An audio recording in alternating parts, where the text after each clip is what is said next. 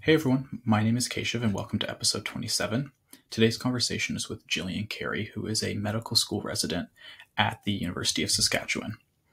She completed her undergrad in accounting and began her career at Ernst & Young in Calgary.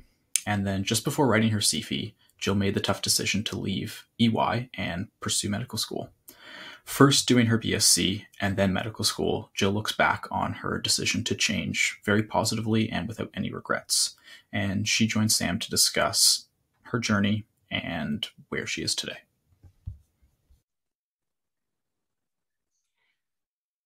Jillian Kerry. Is it Jill or Jillian? Uh, I go by Jill mostly now. okay, because I think that's what I was calling you in my emails. And then I Yeah. saw your email and I was like, oh, there's a lot of Jillian. Okay, so welcome to the podcast. Um, I always start these things off with one of those weird, uh, weird questions, weird random questions. So here goes. If I recall correctly, you are or were at least trained as a yoga teacher. Is that correct? Yes. So I, I don't even know if this is possible, but do you have a favorite pose? Or if not, like, do you have a favorite pose of uh, as of recently? Uh, I actually do have a favorite pose, and that's funny that you ask. So it is Trikonasana or triangle pose. Yeah. yeah. I think my only like um more hated pose would have to be warrior two. Oh, yeah, that's a hard. It's a hard pose. Yeah, it is. yeah, they're Yeah. hard.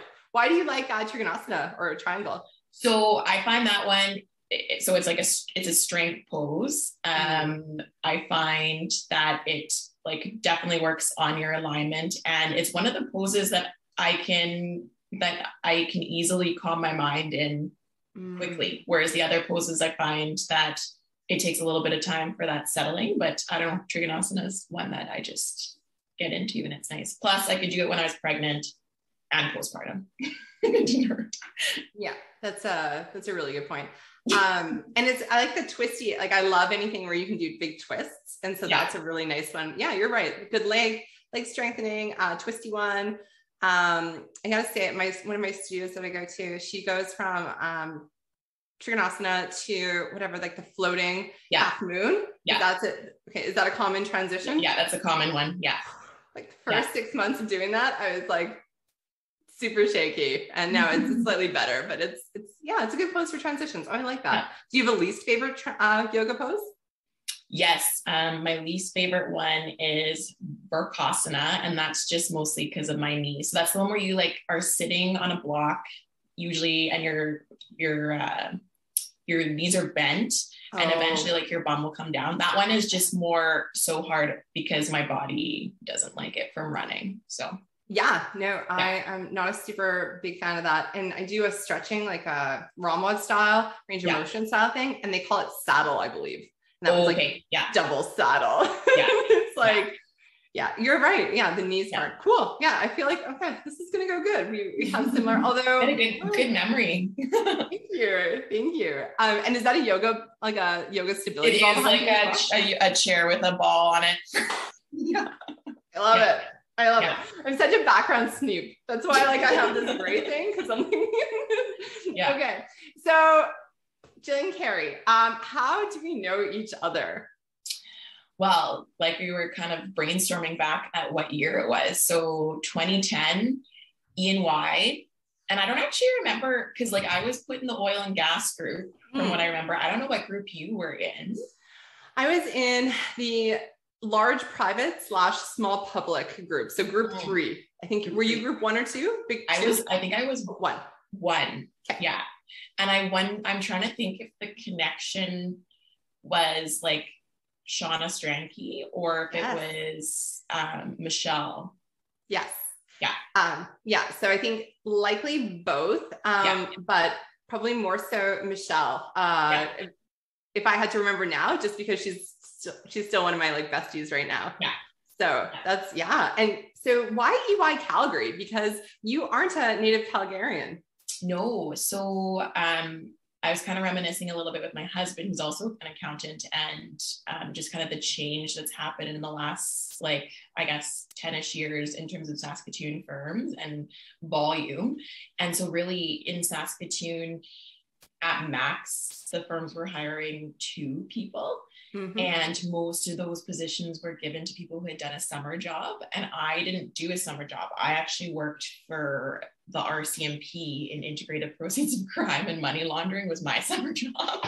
I mean, Yeah. hold on, hold on. Before we go on, did you just like, how did that come to be as a summer Um, job? so the University of Saskatchewan had this really cool um, summer program application thing where you like put in what you were interested in, and for some reason this job came up, and um, yeah, I interviewed for it, and actually they told me the reason. Well, for other reasons that they picked me, but the other reason that they picked me was um, I had just finished this accounting class. I can't even remember what it was, but it was like system controls essentially. And so I had they and they didn't tell you this, but um, at the interview, they gave you um, a topic in integrated proceeds of crime, and you had to give a five minute presentation. And I was like, oh my goodness, what am I going to do? And I had just finished this class, and so I like drew this whole systems control thing, and they were like, whoa. This. So that's what I did for my summer job. So I didn't actually have any connections with um, with any of the firms. And really, I think when I went through interviews, like maybe out of my class, like two or three people who didn't have summer jobs got jobs in Saskatoon. So it was time to kind of branch out. And um, yeah, I had a friend in Calgary and I had interviewed for E EY, KPMG, and think it was it called Hudson or I can't remember what it was called. Oh, I forget, but yes, I recall. I just remember the- they had like this. The I remember them advertising that I, during tax season they would have like this big chocolate thing, and then people would like come and take off pieces, and I was like, oh, cool. um, Ah, yeah, I really, yeah, I liked the environment at E and Y, and that's where some of my other classmates were interviewing. So yeah, that's how I ended up there. So you did your undergrad in business at the University of Saskatchewan. Mhm. Um, side side note, did you ever have Natalie Johnstone? I did. Yeah. Uh, I, I've collaborated with her since I got to Mhm. Dal. Um, so, anyways, Again, that's so funny because my husband and I were talking about. I'm like, do you ever use consolidation anymore? Because that was the class that she Yes. taught. And we had to do this huge project where we consolidated something. And he's like, no. That's so okay. So I get Dal and we talk at a conference, and then we end up writing this giant three-part consolidations case together that I Yeah. used um, with my students. She used with hers, and it's actually she now wrote a consolidations textbook. So Oh, it's wow. going to be a huge like um like a three-part case as part of her textbook that hits um in the September. And I should probably stop talking about it because my students will be like, I don't want to hear about your consolidations textbook because I have this really big test and it's like it's physically like printed out on a really big sheet of paper, like several of them, and it's consolidations because I teach it. And um yeah, no, it's um it's one of those things where I think uh, in practice you either use it a lot. Um, I got a student who uh, had to do t- systems testing on 148 companies that were being consolidated, so that he had to like test the system, or you don't use it at all. Yeah. Oh no. Okay, that's okay. It's, all things I tell them, and it's good to know. But anyway, um, Natalie did it, so she's always kind of been in the back of my mind when doing this course because I'm like, well, if Natalie can do it, you know, Yeah. um, I can, I can do it, and I can call Natalie or text Natalie and, and get help along the way. And now it's been four years, and I'm I'm comfortable in it. But it's like you said, it's one of those things that sticks out. Yeah. Because when was undergrad um, for your for your business degree? Like yeah. probably the same as me. So 2004, Same as you. 2008. Yeah. Yeah. Yeah. Yeah. Yeah. Okay. So that was that was your undergrad. And then because you did it, your business at U of S, and then you came out to Calgary, EY Calgary in 2008. And we met, there was probably about 30, 32 of us that started. And then throughout the next um, I don't know, few years, two and a half years, um, different people went in different directions. And then we find ourselves at the summer of um, at the summer of 2010. And then Yeah. did you come to you came to Vancouver, right? For the No, so so I did so I did MPAcc. right. Yeah. Yes, I forget. So then MPAcc, um, there's a lot more grad programs available now. Okay. Um, and so MPAcc at the time was only available pretty much at University of Saskatchewan. So you would have gone back there for both Yeah. of the summers. Gotcha. Yeah. Yeah. All right. So working at EY, um, do you have any standout memories of that time? Uh, I have standout memories of, uh, yes. So my big client obviously was an oil and gas client. And so these were kind of little tidbits around the, that kind of pointed me into where I am now. But um, so I remember the term armchair auditing.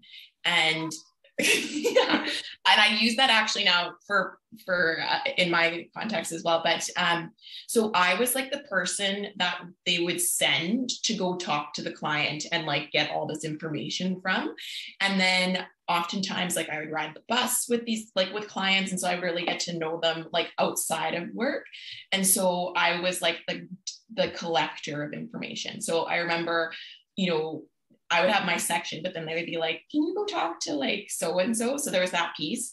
Um, and then also standout was um, I was trying to get into um, the like biotech small industry because I was like, well, maybe if I can't be a doctor, then I will audit people who like do stuff in in um, in that field.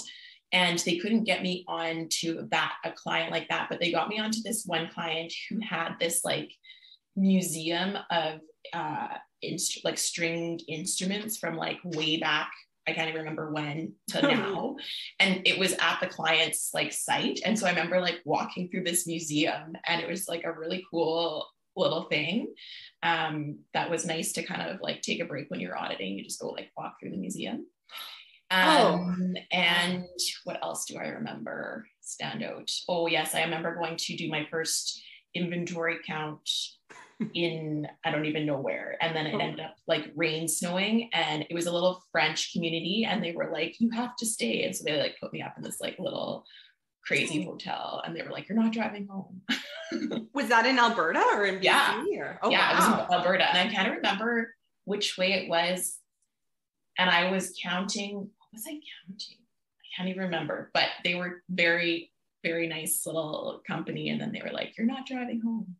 that is so that is yeah. so yeah all these like random stories so i actually i'm very sorry if we had talked about this at the time i was on a biotech company and oh. um and i really liked auditing them because i got to audit pay, like payroll and at yeah. the time like we all start like making like 40k in like yeah. 20 2008 and i think like the starting salaries are still at 40k although i will i will say that there is a revolution uh, going on right now where it is no longer they are starting to tour up to industry which is really it's nice to see the power kind of dynamic yeah. shifting um, so and then i remember this uh, the audit the office manager made $120000 plus mm. stock options for yeah. this like um, tsx venture uh, biotech company and i remember like oh all right, yeah. small, small, you know, or large private small public companies maybe the way to go if the office manager undesignated i you know maybe not even a university degree i'm like is making yeah. 120 so anyways that kind of and it was it was it was pretty fascinating but i definitely didn't appreciate it the way that like that you could have yeah. right and that's the whole interesting thing with um, how some firms are set up and something for students to consider is you know there's a lot of limited mobility within some of the groups sometimes. So, yeah. you know, figuring out what you're interested in, if you are, have a particular interest, and then, um, you know, I don't know, um, getting a champion within the company that is yeah. willing to go beyond um, beyond the groups. And exactly. the chocolate fountain. No, sorry, I'm just going back to like the recruiting and um, okay. So I, one other thing that I heard recently, actually just this morning, is that a lot of the firms are saying if you meet your client's needs, um, you're welcome to travel. So I think that that really opens up and working remotely. So yes. before we got onto the call, the whole, you know, this is a paradigm shift. The fact that we are doing a podcast after not talking for over 10 years.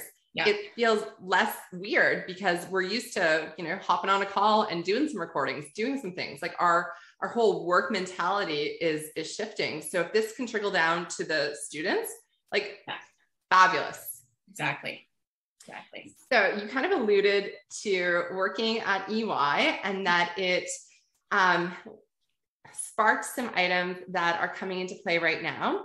Mm-hmm. So you were at EY, you're no longer at EY. Um, how about you tell us where you are today briefly, and then yeah. take us back to the decision that took you from EY to starting the path that you're on now? Yeah. So where I am right now is I am a fourth year obstetrics and gynecology resident. yeah. And you're in Saskatchewan, right? In Saskatchewan. Yeah. In Saskatoon. Um, and so going backwards, um, the idea of being a physician was always kind of in the back of my mind. Um, and even just a little bit further back. So in my undergrad, like my electives that I took in undergrad were like biochem, chemistry, not your not your average accounting complementary classes. Um, but I wasn't really 100% sure if I really wanted to do it. Um, and so then when I got to EY um, and saw that there was those other areas, like I mentioned, I tried to kind of get into those areas um, from like a business perspective. Um, and then really where the wheels started turning was actually my first year of MPAcc, um, kind of coming together with other people from across Canada um, to do our MPAcc first year. Um, when we had other classes that weren't accounting based, based, actually like I'd say like 85% of the class had other plans of what they wanted to do. Like they weren't going to mm. stay in accounting. And that's kind of where people started really talking about it. And that's where I think I started to feel comfortable talking about maybe wanting to be a physician. Um, so that's kind of end of first MPAcc year. Jill, um, and then there. Sorry if you don't yeah, mind. Yeah. You mentioned something where people started talking about it because I think this is something that I really want to point out. Um, so for myself, people ask me, "Do you love accounting?" And I was like, "No." Like, I'm sorry. Like, do I get excited in the morning and like want to debit and credit things? Like, no. Great. But I, I like what what it can lead to, what it can empower. But even having that discussion as a prof, people are like a little bit surprised. Yeah. So you know, just to say, hey, listen, um, a lot of people, it's not uncommon to be in accounting, to be in business, and not want that to be your end game. And it's also common for it to not be part of your middle or beginning or you know end game. And it's okay to take any path in between. And I think exactly. the key is, like you said, is to start start talking about it and and being open, or at least find your people where you can have that conversation. Yeah, and I think that's that was key. Is like it was a safe environment to talk about it, and um, yeah, like I think I can't even remember what the classes were, but we had to do different projects that weren't just accounting based. And I think that's really where the discussion came from. Like I know people that said that they actually wanted to own a hair salon and like it was just everything. Yeah. And then that's where it's like, I think I actually might want to be a doctor. And it wasn't like a weird, like, oh, it was like, oh yeah, sure. Yeah. Yeah. Fabulous. Hmm. Okay. So you start, and just to clarify, when you were doing your undergrad at U of S, um, were you in business from the beginning, taking yeah. biochem electives? Yeah. Okay, cool. Yeah. Okay. From the beginning. Yeah. All right. So um, you start talking about that maybe accounting is not not the thing thing, and that you know, hey, I'm thinking about being a doctor. Having those like positive like nods, and yeah. then you leave first year MPAcc and you come back to Calgary uh, at EY. Yeah. So then, kind of refreshed, you know, ready to hit the ground running again. And then that's when I started to uh, diversify a little bit. Like I wasn't just in the oil and gas um, group. Um, and so, you know, enjoying kind of seeing different, different businesses working in different industries. I think I had a really cool engineering client that hmm. um, I really liked. And then, um, and then it was second term MPAcc, and that's you know getting closer to the UFE at that point. So summer of 2010. Yeah, summer of 2010. Um, so now things are kind of getting real, and I have to start thinking about um, am I going to write is the question because like most people who are in accounting, like super type A, um, have a hard time. Well, I had a hard time quitting. Was was oh. where it was at. And yeah. with MPAcc, like it, it's a great program, but your articling time gets extended because you're away in the summer. So um, my question was, do I continue or do I stop now?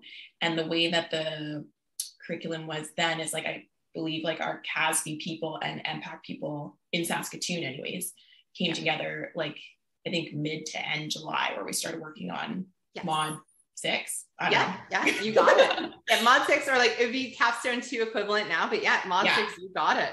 Um, and then we wrote kind of those mock. So when I remember from there was like a pretend UFE, mm-hmm. and then if you passed that, you were able to go on. Yeah. But in between that time, I think we had two two weeks or something. Yeah. And so I actually came out to Nova Scotia. Um, oh. for yeah, it was random. They had a really great seat sale, and we had some points and went out there. And I think back then, like no one had Facebook or Instagram on their phone, and I really just disconnected from everything and halfway through the trip, I was like, I'm not going back. I'm not, I'm not writing the UFE. I love it. So uh, we flew home on Saturday. I registered for classes on Sunday, went in to my accounting firm. Pre-med? Pre-med, pre-med. classes? Yeah. went in to my accounting firm on Wednesday to tell them that I was quitting. And um, yeah, and then started my first year of uh, Phys Pharm after the September long weekend. Holy holy. Yeah. All right. Bring me through your your mindset. So you're you're taking those two weeks, you're disconnected, yeah. and you're just like, like what point were you like, were you like this? And then what were you thinking? I was thinking that uh I really didn't like it at all. And I didn't see that I could make something out of it. And I felt like I was, there was too much time that was going to have to happen where I had to follow like the textbook, you know, articling in the accounting firm before I was going to be able to actually maybe do what I wanted to do. Hmm. Um, and like, truthfully, I think it just came back. Like, I think I was just trying to fit a square into a circle shape, yeah. which you can. It just isn't going to look great and it might not feel great. Um, and so I think I was just far enough away from all of the other voices and maybe like other people, like I'm a I'm the eldest child, and both my parents actually work in healthcare, and they thought that it would be better for me to not go into healthcare. And so I was trying to kind of appease that as well, but realizing that it wasn't really my choice and then I didn't want to do it anymore. Uh, we, uh, we've talked about here on this show before about the well-intentioned um, advice that sometimes like when the haters are out there it's they kind of suck but like you can identify them. You're like you're hmm. haters. You do not have my best uh, interest in mind. I'm going to ignore you. But it's the well-intentioned advice the people that love us that we know that care for us um, and sometimes they can be mentors as well um, that we don't want to like disappoint or we want to um, not just that just like take their advice and you know when we're unsure mm-hmm. borrow it for ourselves. So it's it's interesting that you sh- you know that you should mention that because i'm sure a lot of people may may relate um sometimes students and it's interesting um who are in their undergrad will say to me well i'm an accounting major i just started my fourth year it's too late for me to do anything else so part of our conversation is to just put a big exclamation there and say bullshit Mm-hmm. Um, it's not too late. It's never too late. And, um, you know, when like, Jillian, I wish that when I had found out um, about you, I wish that, you know, if we had been on Facebook or something, like I wish I would have reached out to you then. And, um, and, but if not then, then it's, I guess it's never too late, right? In the spirit. And so reaching out 10, 10 years later and reconnecting when I had a student um, about six months ago who said, you know, I don't think I want to be an accountant. And she is somebody who met with me every Thursday morning during the pandemic, during her fourth year, to make sure she stayed on track. She was an A student. She wanted to remain as A student in accounting. And, and then she like said, Sam, I don't want to, you know, be an accountant. I think I want to go to med school. Um, and so I immediately was like, this is fabulous. I want to reach out to Jillian because she, you know, she was so brave and she really paved the way for a lot of people who have um, who have that thought. And so I'm sure if you haven't heard it before, I'm sure there's other people out there that saw what you did um, and you're leading by example and um, it helped them be brave either in that way or in their own way. Yes, no, I think that, yeah, having someone that you can relate to whether it's the same switch that I made or something similar is super important because yes it was extremely scary and and embarrassing like I mm. I felt like I had failed because then everyone in like my MPAcc cohort you know went on to write their exam um, and at that point like like the statistics were you know they looked at those and like I was the person that didn't complete MPAcc to go off to write the UFE. Um, so yeah, it was for a long, for probably about two years, I felt like I had done the, the wrong thing.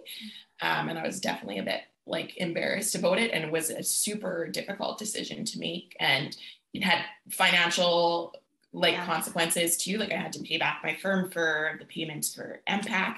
Um, yeah, you, you, had to go back to undergrad. You, go back to undergrad. If I recall, you moved from Calgary back to Saskatchewan. Yeah. Like this, this was not a light decision. And like in Calgary, you're surrounded by, you know, 20 or 25 other people that are very much like, this is the way. And even in the firm, if you, if you even said like, I don't think I want to be partner, like yeah. it was it was like oh what are you doing? Let alone um like i want to go do you know something completely different. And so you say you felt embarrassed and you know every part of me now wants to be like no no no like you shouldn't. And i know you know that you shouldn't but that's how you felt at the time. And that is yeah. completely normal. Just like the fourth years you know now we're like maybe this isn't my path. Like go mm-hmm. explore. Um, like I've had students in the CPA program who went and one lived in um, San Francisco or San Diego for two years, training with the Canadian and US swim team. Then he got hurt right before trials and came back and he was like, no regrets. Like, you know, yeah, yeah maybe um maybe I got to the same place, but at least I know. Like, so, you know, we're all just doing our best on this path. But then when you're getting a strong enough indication that, hey, this isn't what I want to do, this isn't where I'm supposed to be at for me, then go change. Mm-hmm. And it's it's okay. Absolutely. Yeah. So go back to Saskatoon two years before you start feeling like, okay, this is um, a bit. Oh, actually, before we go back there, I just want to say your butterfly wings probably had large implications for me because, um, and I don't think I've mentioned this here before, but um, about halfway through through my like second, my last busy season, so in January of 2010, yeah. I was like, I hate this. like it felt like Groundhog Day over and over and over. And um, then it hit like I think it was February, and I was like, call my dad. So I'm like 21. I'm like, dad, or 22. And I'm like, I don't want to do this anymore. And he's like, you have six months, like just or like seven months. He's like, go write that test, and um, then you can decide, and then you don't have to do this anymore. Yeah. So I secretly took my real estate license course um, through like April because I was like, I just need to do something else something and else. set myself up for something else. I love real estate, gonna go like do real estate. Um, and it's obviously like nowhere as demanding as um, med school. So I was able to kind of do it part time. But yeah. it's, it's funny that we, you know, had some parallel thoughts. So, anyways, my, but my dad and I was like, okay. And, you know, the well intentioned people, was he right? Was he wrong? I don't know. But that's the advice that um that I got. And then so then it's like I'm just like kind of hold on, like, you know, get to the summer. Finally, we get like the summer off. And how this comes full circle is um, your, I believe your study buddy was lined up to be Michelle, um, mm-hmm. and she wanted to be study buddies with somebody in Saskatoon. Mm-hmm. And she was one of my only like really good friends at the firm that I was like, we have complementary skills. And essentially, she'll call me out on my bullshit, and I'll call her out on hers. So when you decided to go to med school, I got a study buddy. So we did it remote, which was like unheard of. We would write the cases, email them, mark each other's, talk on the phone, and then go off and do our separate study plans. So, you know, anyways, thank you. okay. yeah, small world. Um, okay, so about two years. Do you recall um, when you started feeling like, hey, like, and just really like feeling settled into your decision? Yeah. Um, it was probably when I then felt so even when I went back to school doing phys pharm, Um, Sorry, what's phys like, pharm? Just yeah, um, physiology pharmacology was the new program that I was starting. yes, and uh, so obviously, like 90% of the people that were in the class there were either going to go into dentistry medicine, um, physio, whatnot. So very competitive group. And school like had changed from like when I had done my undergrad before. Like everyone was using computers in the lectures, whereas before we were writing things. So I had to like change that up. Um, and just like it was a new competitiveness because, you know, you needed these specific marks to get into med school. Like everyone was doing, you know, all this additional outside stuff for their um, CV. And I was just like, man, I just want to get into med school. This is what I want to do. So um, probably two years into going back where I felt comfortable one also saying in that group hey like yeah i'm also applying to med school. And two where i was like i actually can do this. Like i i am going to do this regardless. So yeah definitely took a little bit of time to kind of feel comfortable even in that group which was everyone that was you know verbally saying that they were going to get into med school that i felt comfortable saying it too how what advice would you give to somebody that would be in that two year transition point where they're you know in that very vulnerable spot of mm-hmm. thinking mm-hmm. they want to belong somewhere not quite feeling like it um, and and having to live with that day-to-day um, sense of unease what advice would you give somebody yeah so there are always going to be people that are telling you that you're doing the wrong thing.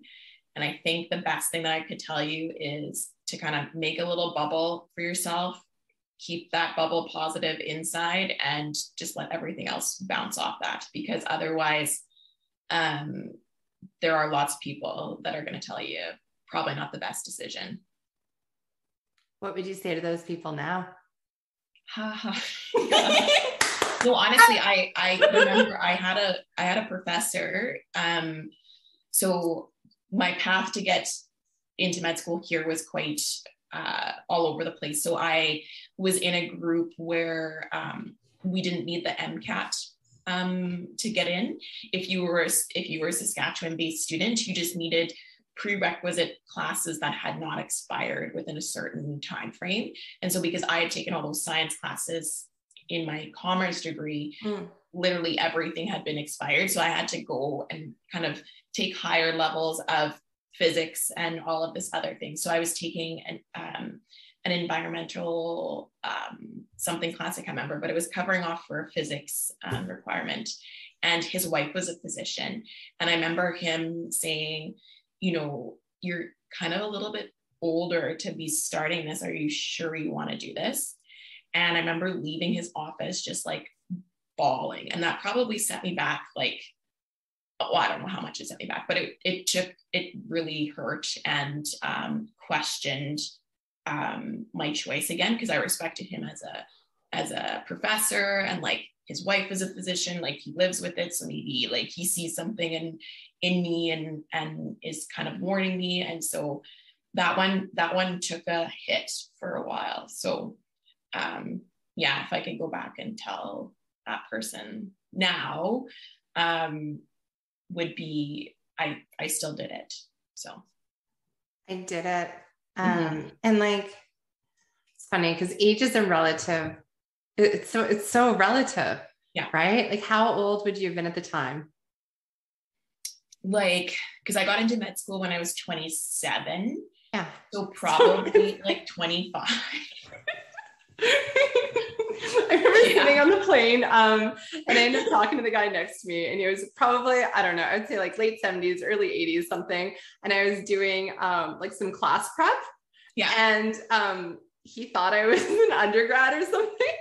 and so, like, I remember just like the timing of the ages is like, it just people just don't know. And to like be now 35 and look at i'm like 27 like that's you're like that's young. Like 24 is young 22 is young 35 feels young. Like it's just and, and, it's all relative. Like i want to have that long career that that person next to me on the plane is having. And so so what if i was doing classwork or if i was prepping for the class? Like it's the path that i'm on now. And as long as every day for the most part, like I'm doing something to like kind of get me one step closer, or not even every day, like every week or whatever, like you can fit in, at least you're on the path. So it's, mm-hmm. it's really disappointing. Um, and I think the mind shift um, has really I see it changing in the last, you know, since last like 10 years, because we get to see more examples of people like yourself going out there and killing it, saying, hey, okay, there's this tradition of undergrad, CPA, um, I'm going to make it till manager. Oh no, better stay till senior manager partner. Yeah. Like, oh no, I have to do this, this, this, this, this. And just calling like, no. Um, so I, when I quit, I quit in November um, mm-hmm. after we wrote and because my months were up. They had yeah. laid off one of my best friends after working um, like 90 hours a week and like bleeding to the firm. They laid her off. And I remember just being like, had my real estate thing going part time. Um, I, you know, had a couple potential uh, consulting clients and being like, my months are up. Um, why am I here? And the only reason that I had not to quit was because I didn't want to be embarrassed because I didn't want people to judge me. And um, and then I finally said, you know what? The people that will judge me are not my people. Um, so I left and I got a lot of hate. Um, but I sent a quick email. I put my real estate license, like my call, like the signature, and I was like, "This is for me."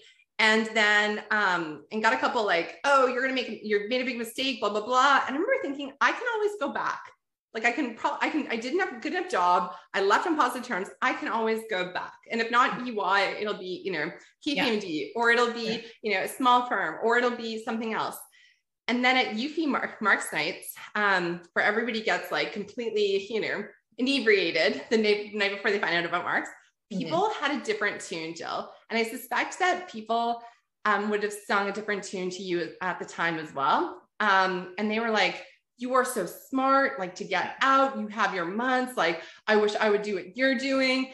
Um, and I never say to a manager, have a good career that I'm proud of. Um, you know, so you know, you're living your best life. I'm living my best life. Our colleagues are living their best lives. And now we're able to show, you know, professors that, you know, somebody at 25, that's young. Somebody at 35, that's young. Like there is no predetermined timeline because what are we all racing towards? No idea. No idea. Yeah. Um, that brings us to today. Mm-hmm. Um, and you had told us right before I made you go backwards to come forwards. Um, you have you mentioned um, your your son. Yeah, Cade. Uh, yeah. Cade.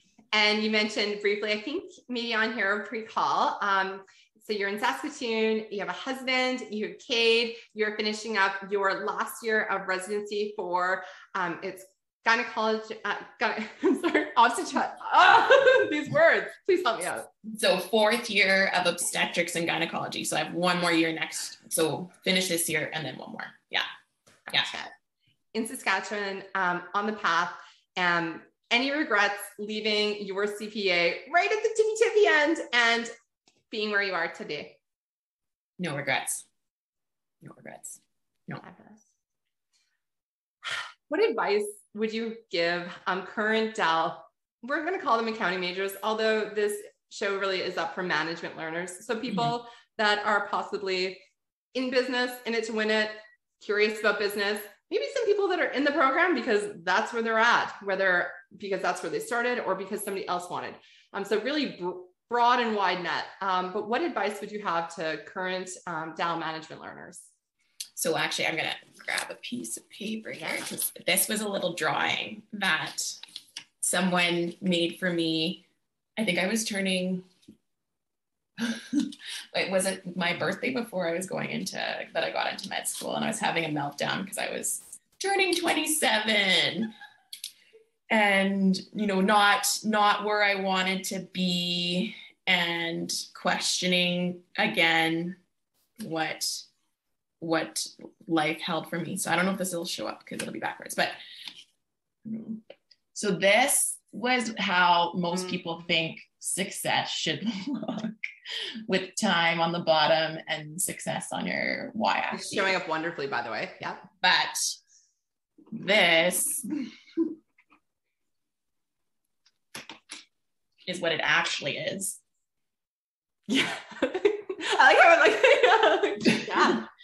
And I don't know, for some reason, this just like made perfect sense. And all of my like worries kind of, you know, went away because I thought that it had to be that linear progression and I wasn't linear at anything on that curve.